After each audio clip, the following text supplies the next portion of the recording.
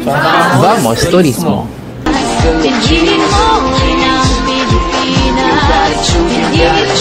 Hey guys! Our group will discuss about the Republic Act 166 or 10066 including the definition of terms and examples. So, what is Republic Act 166 or 10066. The Republic Act 10066 is an act providing protection and conservation of our national cultural heritage, threatening by National Commission for Culture and Arts or NCCA. its affiliated cultural agencies and other purposes. The Republic Act 10066 is a Philippine law created by Philippine Registry of Cultural Property. The law was signed into law on March 25, 2009. All registry of cultural properties of the countries are registered by Philippine Registry of Cultural Property in which the National Commission for Culture and Arts or NCCA. is mandated to establish and maintain through appropriate cultural agencies and local governments. Any house that has significant importance to Filipino culture is declared to be Heritage House by the National Historical Commission of the Philippines. The Republic Act 10066 includes the following like archives, art galleries, historical research, libraries and information services, monuments and sites, and museum. Why is it important for us to abide and know such law? Let us identify first the difference of an executive order to a Republic Act. An executive order is the acts of the President providing for rules of a general or permanent character in implementation or execution of constitutional or statutory powers shall be promulgated in executive orders. While a Republic Act is a piece of legislation used to create policy in order to carry out principles of the Constitution, it is crafted and passed by the Congress of the Philippines and approved by the President of the Philippines. Meaning, if there is already a law, it can only be repealed by a similar act of Congress or the Republic Act, and not by an executive order. So, what are the importance of the Republic Act 10066 or the National Cultural Heritage Act? First, it aims to provide protection, preservation, and promotion of the nation's cultural heritage. And with that, these properties will still be able to provide their purpose and contribute to the history. Second, it further provides that all countries' artistic and historic wealth constitutes the cultural treasure of the nation and shall be under the protection of the state. Third, is because it preserves the Filipino cultural heritage, it gives us purpose and meaning of our lifestyle then and now. It showcases our beliefs and traditions, gives forms and shape to our values, custom, and aspirations. It also molds and ensures our identity as Filipinos. Fourth, it lets people appreciate the purpose of these cultural properties and understand how it plays an important role in our society. This law helps create a balanced atmosphere where the historic past coexists in harmony with the modern society. And lastly, it preserves objects significant to the archaeology, architecture, science, or technology for the study of human history because they provide a concrete basis. And the next one is the definition of terms. The first definition of terms are the adaptive reuse. What is adaptive reuse? It refers to the utilization of buildings and other built structures and sites of value for purposes, and other than that, for which they were intended originally in order to conserve the site and their engineering integrity and authenticity of design. And the next one is the anthropological area. It refers to any place where studies of a specific ethno-linguistic groups are undertaken, the properties of which are the value to our cultural heritage. And what is ethno-linguistic group? It refers to a group of people who share a common cultural ancestry and language. And the third one is the antique. It refers to a cultural property found locally which is 100 years in age, more or less, the production of which has been already ceased. Archaeological area shall refer to any place, whether above or underground, underwater, or at sea level, containing fossils, artifacts, and other cultural like geological, botanical, zoological materials which depict and document culturally relevant paleontological, prehistoric, and or historic events. Next is archives. Shall refer to public and private records in any format which have been selected for permanent preservation because of their evid- evidential, historical, and informational value.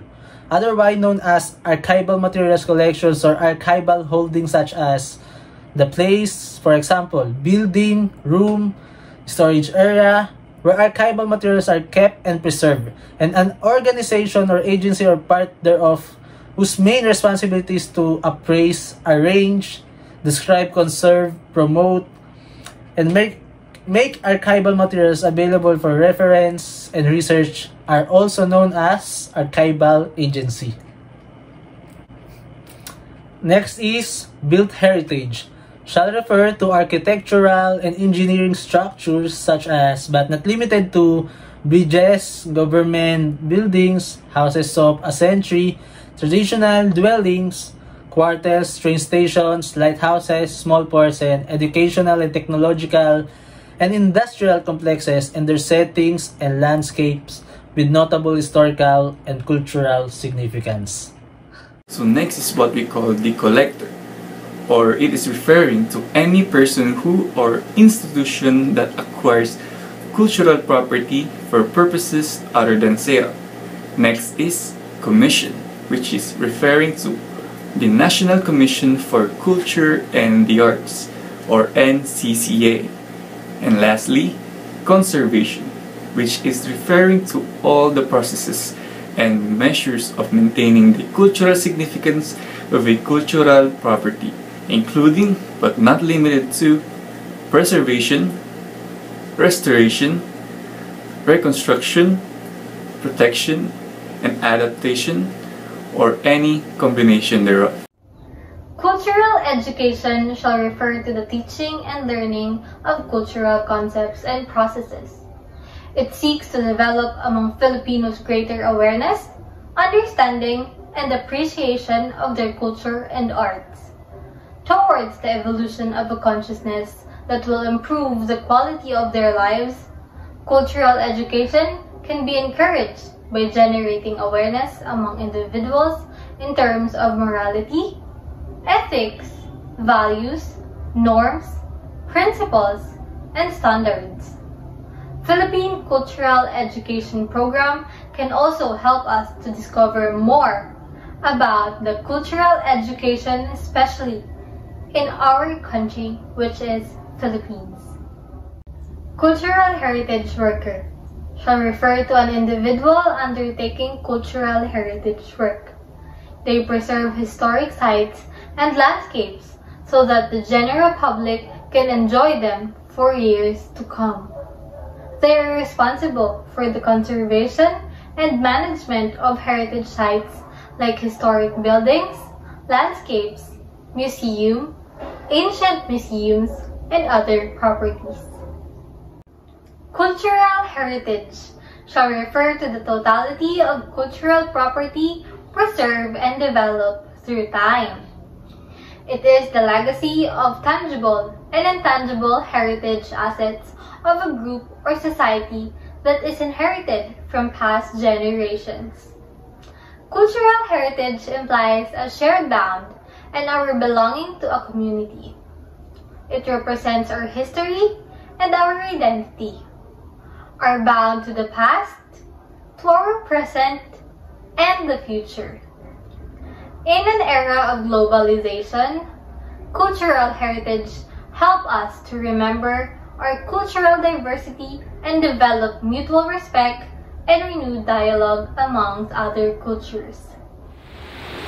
Heritage zone refers to historical, anthropological, archaeological, artistic, geographical areas and settings that are culturally significant to the country, as it is declared by the National Historical Institute and or by the National Museum. It is said that local government units are in charge of maintaining heritage zones. Dealer refers to a person who acquires a cultural property and engages in acquiring and disposing the same property through a lawful act. What is cultural institution? A cultural institution, also known as a cultural organization, is a group within a culture or subculture that seek to preserve or promote culture. Museum, libraries, and archives, cathedral, and art galleries are examples of cultural institution and in a modern civilization. What is cultural property? A product of human creativity by which a people and nation revealing their identity, including churches, mosque, and other places of religious worship, schools, and natural history specimen insight. Whether public or privately owned, movable or immovable, tangible or intangible, it is the act how defines cultural property. What exactly does the term cultural property imply? Cultural property is defined as property that is explicitly defined by each state as being of value of archaeology, prehistory, history, literature, art, or science on religious or secular grounds.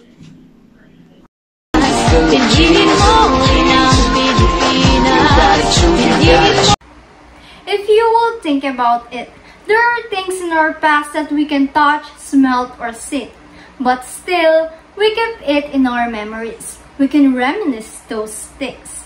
Here's the reason. Intangible heritage signifies the different practices in a community. Unlike tangible heritage, intangible heritage is not a physical concrete item that exists intellectually in the culture. It includes the practices, representation, expression, knowledge or skills considered by UNESCO to be part of places' cultural heritage. UNESCO aims to ensure the better protection of important untouchable cultural heritage worldwide and raise awareness of its significance. But what is the significance of intangible heritage? Intangible cultural heritage is a critical component in maintaining and preserving cultural diversity in the face of globalization. It is made up of non-physical intellectual richness such as beliefs, traditions, knowledge, practices, and language of other cultures that aid intercultural discussion and foster mutual tolerance for different ways of life.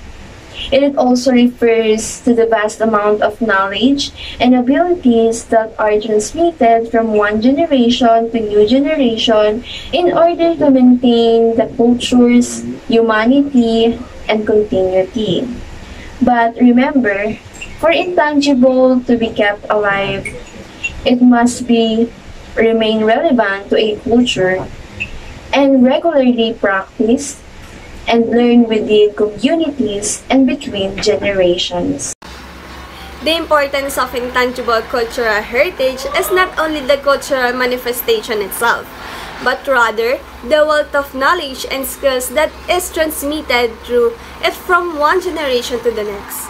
The social and economic value of this transmission of knowledge is relevant for minority groups and for mainstream of social groups within a society and it, and it is important for developing society as for developed ones.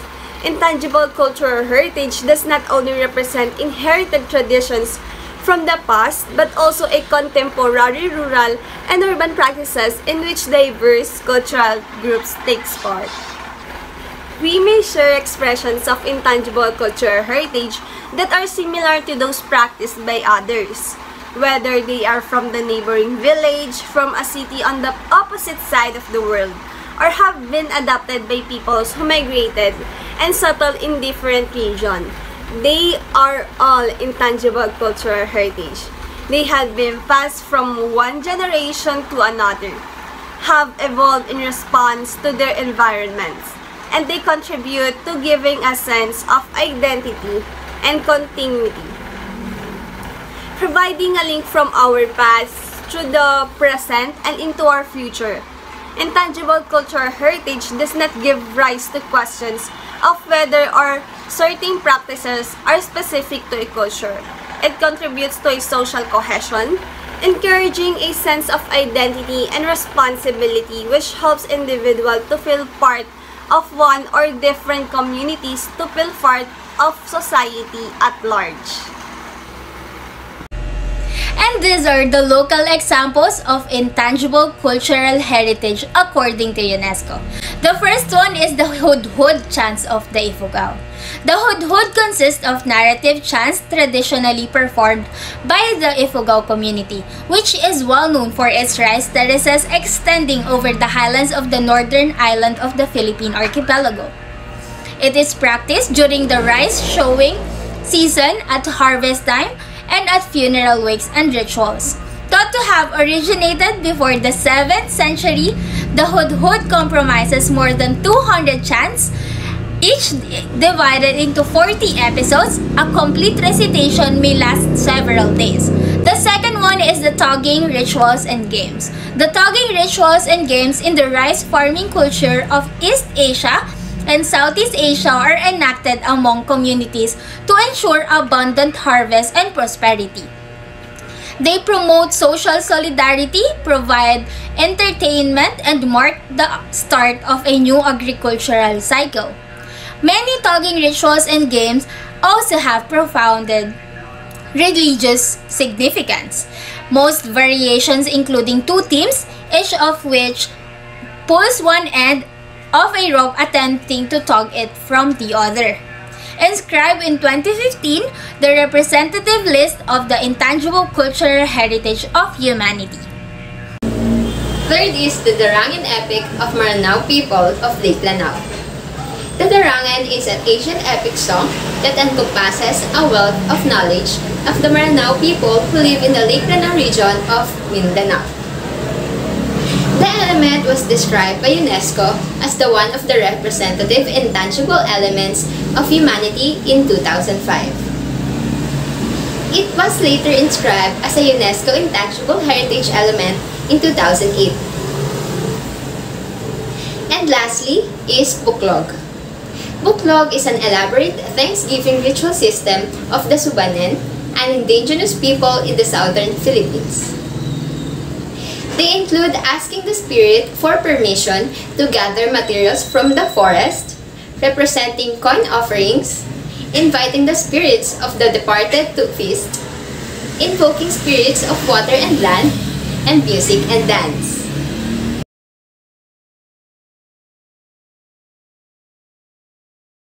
The craft tradition handmade weaving in Upper Egypt or Said is a complex process that requires time, effort, patience, and practice. Many steps and techniques are involved in the loom preparation, like threading and weaving. To achieve the final product for centuries, men and women have used their inherited knowledge and artistic talent to create embroidered textiles both as a family legacy and as a profession. Nogaku is the principal form of Japanese theater and has influenced the puppet theater as well as kabuki. Often based on tales from traditional literature, Nogaku theater integrates masks, costumes, and various props in a dance-based performance. Nogaku encompasses two types of theater, No and Kyogen, which are performed in the same space. In No, Emotions are represented by stylized conventional gestures. The distinctive mask, for which No is renowned, are used for the roles of ghosts, women, children, and old people. Kyogen, on the other hand, relies less on the use of mask and is derived from the humorous place of the Sangaku, as reflected in its comic dialogue. Bailes Chinos are brotherhoods of musicians who express their faith through music, dance, and singing in the context of commemoration festivities. The practice stretches mainly from the area known as the Norte Chico to the central region of Chile and comprises five fully differentiated styles. It is also organized mainly by men from rural areas. Baile Chino dances consist of jumps and flexing movements of the legs, performed to the rhythm of isometric instrumental music played on drums and flutes of pre-Columbian origin. They function as a model for social integration and cohesion to which almost the entire local community subscribes out of a sense of identity and solidarity. In India, yoga is their ancient practice in Indian traditions. So in basically based on their unification mind, body, soul in order to improve their mental health, physical body, and their well-being. Second, in Belgium, in their culture, they called beer culture. Beer culture is the one of their most events in their culture. They have the three categories in their culture. One is social practices. Second, rituals and festivals events. The third one and lastly, traditional craftsmanship. Hi everyone, my name is Giancarlo Jesra from TM5D. I will share what I've learned from the previous topics we've discussed from this midterm. I will be tackling the topic intangible cultural heritage and the foreign examples. First is the meaning of intangible cultural heritage. Intangible meaning not to able to be touched or grasped. Thus means this topic consists of folklore, customs, beliefs, traditions, knowledge, and language of a heritage from a certain country. The examples that are given from the report are the yoga, which came from India. It is traditionally taught by gurus. Baile Chino from Chile, a festival full of music, dance, acrobatics, chants, and a festival where the women lead the men. Nogaku Theater, a theatrical act showing the 16th century era of Japan. This tradition shows the importance of their history. The handmade weaving in Upper Egypt, as they call it Said, and my favorite is the beer culture in Belgium. Who doesn't like a good beer? I personally fully support this custom and 100% willing to participate in it. These are the wonderful examples from the report. There are plenty more intangible cultures from many, many countries. Heri heritage tourism is a great topic and so fun to learn. It taught me how beautiful each and every country is and how creative us can be when it comes to traditions. It gives us a sense of identity and teaches us how rich our culture can be. Thank you very much for listening and I hope you enjoyed my short video.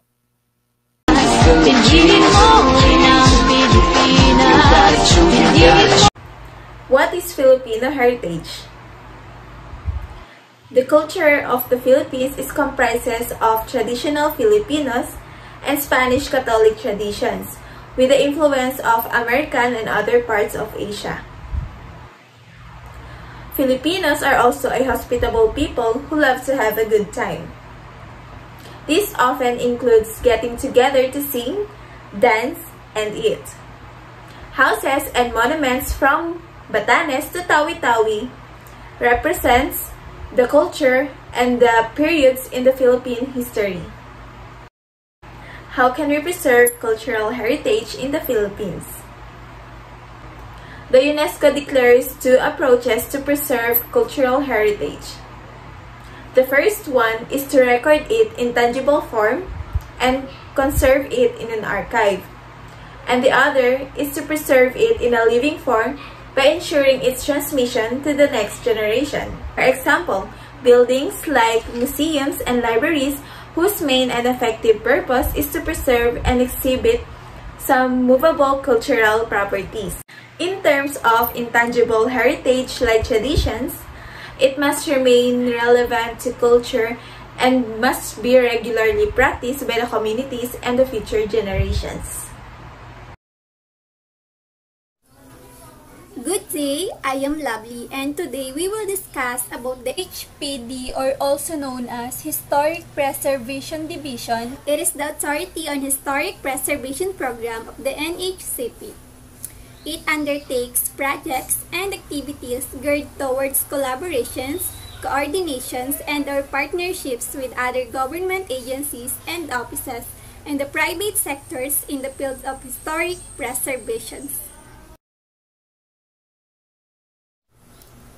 preservation. PD goals and objectives. The aims to promote Filipino heritage through preservations, protections, and development of historic sites and structures and the conservations of material objects. The heritage conservation. Heritage conservation plays a major role in helping define the identity we proudly showcase today by reminding people of how prosperous our past has been. Our built heritage is evidence of our political history and socio-economic development, and ultimately mirroring our shared values and the excellence and creativity of the Filipinos. Protecting this should be a priority for the Philippines, given its rich history and very engaged community of stakeholders that promise all-out support to initiative done the right way. The Heritage Conservation is also under the Republic Act No. 10066, otherwise known as the Philippine Cultural Heritage Act, aimed to provide for the protection, preservation, and promotion of the nation's cultural heritage. This was initiated by then Commissioner for SCH Felice Prudente Santa Maria and former Executive Director Carmen D. Padilla as an advocacy mandate of the NCCA. Filipino Heritage Protection as a tool for economic and urban development.